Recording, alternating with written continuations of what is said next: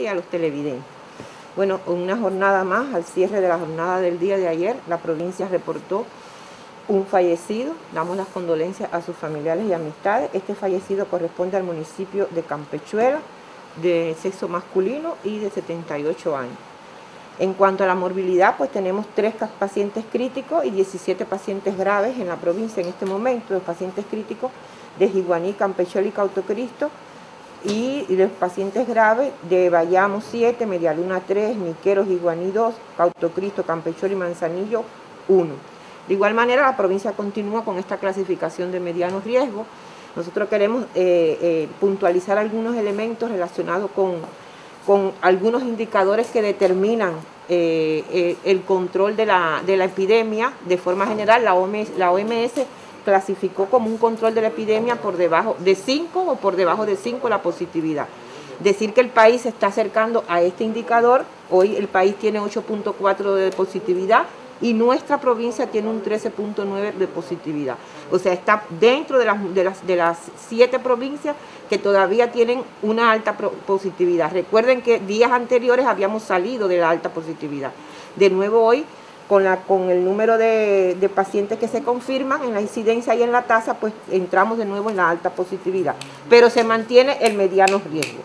En este momento en la provincia tenemos activos ingresados, 489, 81 casos más que el día anterior, que fueron 408.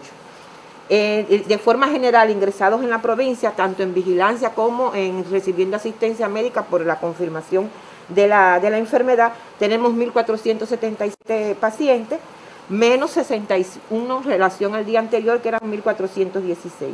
De ellos, sospechosos son 699 en esta jornada, 20 menos que el día anterior, que eran 989. Niños ingresados se mantienen los 25 niños que ayer hablábamos de 25 ingresados, 25 se mantienen. Y en la, en la, en la morbilidad, o sea, en la incidencia de los niños tenemos 35 niños en relación con el día anterior que fueron 19. O sea, de manera general las cifras continúan disminuyendo, se continúan en una, en se estabilizan las cifras y en cuanto a la incidencia por municipio, recordar que continúan los siete municipios con altos riesgos porque tienen una tasa que duplican la provincia y también el país.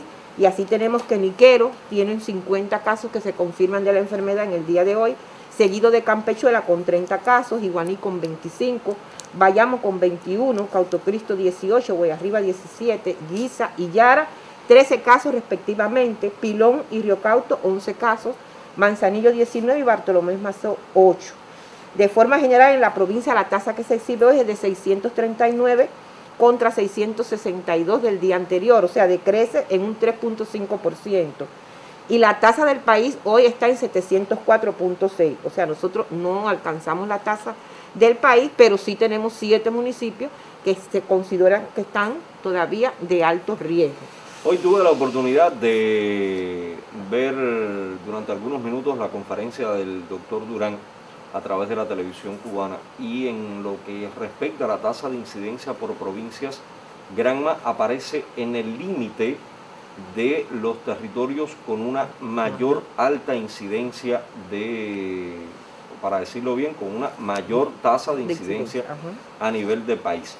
Granma no es de las que más tasa, más alta tasa tiene, pero está en el límite. Está en el límite. Está ahí rozando y tiene que ver también con lo que explicaba la doctora hace algunos minutos, de que eh, al inicio de la semana tuvimos cifras un tanto más halagüeñas, las cifras eran más bajas, pero ya en relación al miércoles y al jueves hay una tendencia al incremento, doctora. Eh, también ahí es bueno decir que la incidencia, o sea, está, la tasa y está la incidencia, que es el número de casos que se reportan en el día. Nosotros ocupamos el quinto lugar dentro de las provincias con mayor incidencia del día. O sea, en Oriente está Las Tunas primero y después está Granma. Así con La Habana, Santi Espíritu, Camagüey, que son los que nos anteceden.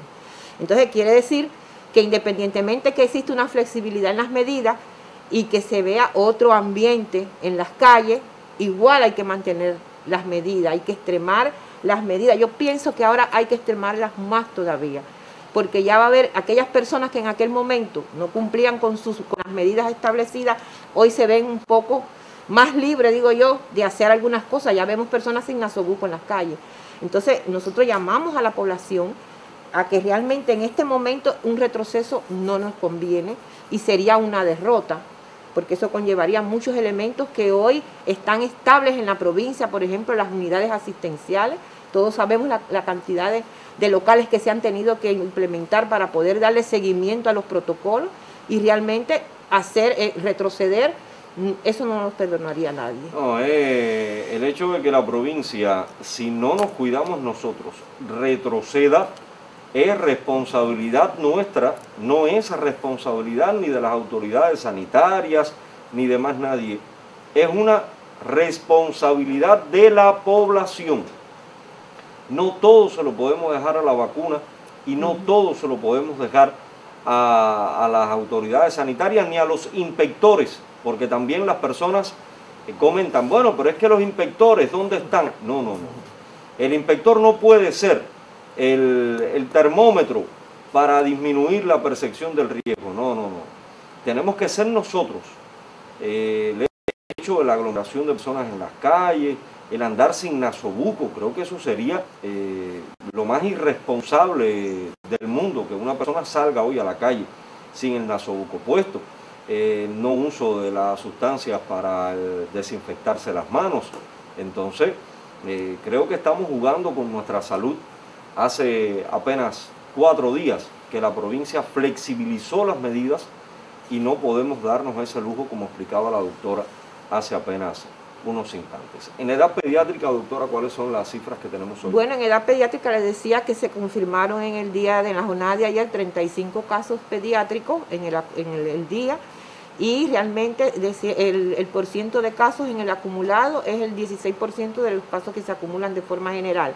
Y el ingreso también ha bajado, el número de ingresos se mantienen 25 casos en edad pediátrica.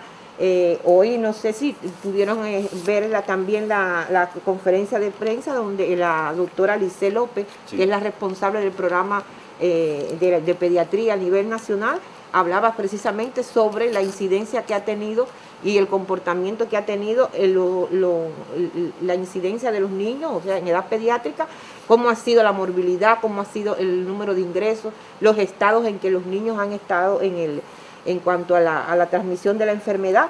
Y hablaba precisamente de que hay un grupo de edad que es de 0 a 2 años que no está vacunado. Por lo tanto, nosotros somos los responsables. Hoy nosotros reportamos un niño de 18 días en los niños que salen confirmados desde la provincia.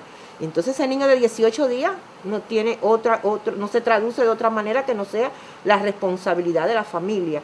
Por lo tanto, este grupo de edad de 0 a 2 años es como que queda susceptible a enfermar porque no está vacunado. Entonces ellos dependen plenamente de la conducta que la familia adopte para el cuidado de estos niños. Entonces es importante, no podemos complicar más esta pandemia. Realmente la evolución ha sido muy tórpida para todo el mundo, para los científicos y para todos eh, ha sido una, una persona, una, una persona, disculpen, un comportamiento atípico a lo que ocurre normalmente en una enfermedad infecciosa y por lo tanto cualquier cosa puede complicar y aparecer otros, otros eventos y ahí la responsabilidad es plenamente de nosotros. Si cumplimos con el lavado de las manos, el uso del nasobuco, el distanciamiento social, ya en los centros de trabajo y en los centros de estudio cumplir estrictamente las medidas, la vida nos ha demostrado que sí se puede ganar esta batalla. Gracias, doctora, por habernos acompañado a esta hora del mediodía. Tendremos el fin de semana de promedio y le vamos a estar esperando la próxima semana. Seguimos en esta revista Frecuencia 12 en la jornada de hoy viernes.